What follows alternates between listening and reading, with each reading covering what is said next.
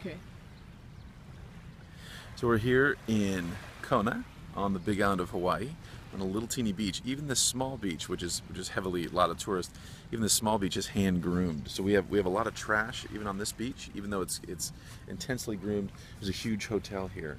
Um, so there's a lot of microplastic. I mean, it's, it's, real, it's comparatively clean. If we look down, if we look down, there, there aren't you know massive amounts of trash. It's not like one of our fishing beaches on Santa Rosa, but you get uh, we still get a lot of trash even here um, out in the middle of nowhere. And so some of this this is obviously tourist trash, but other stuff is coming in as well.